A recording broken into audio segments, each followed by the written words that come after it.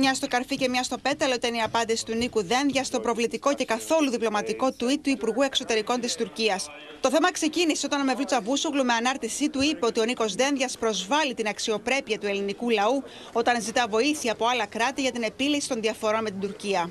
Αγαπητέ Νίκο, εδώ είναι μερικές φιλικές συμβουλές για το νέο έτος. Σταματήστε να ζητάτε βοήθεια από άλλους και να πληγώνετε την αξιοπρέπεια του ελληνικού λαού. Ίσως το 2021 είναι η χρονιά που θα διευθετήσουμε τις διαφορές μας δίκαια και ειλικρινά. Ο Έλληνας Υπουργός Εξωτερικών απάντησε λέγοντας ότι ο ελληνοτουρκικός διάλογος θα προχωρήσει το 2021 μόνο αν συντρέξουν τρεις προποθέσει.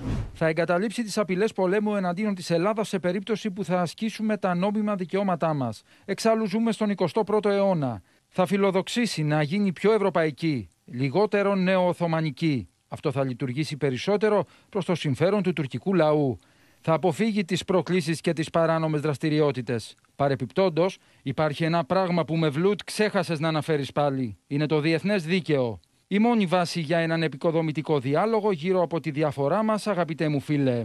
Οι διερευνητικές επαφές φαίνεται ότι είναι δύσκολο να ξεκινήσουν άμεσα, καθώς όπως επεσήμανε και ο κυβερνητικός εκπρόσωπος, χρειάζεται χρόνος για να αποδείξει η Τουρκία ότι θέλει την αποκλιμάκωση. Η Τουρκία πρέπει να επιδείξει συνέπεια και συνέχεια στην αποκλιμάκωση της παραβατικής και προκλητικής της συμπεριφοράς.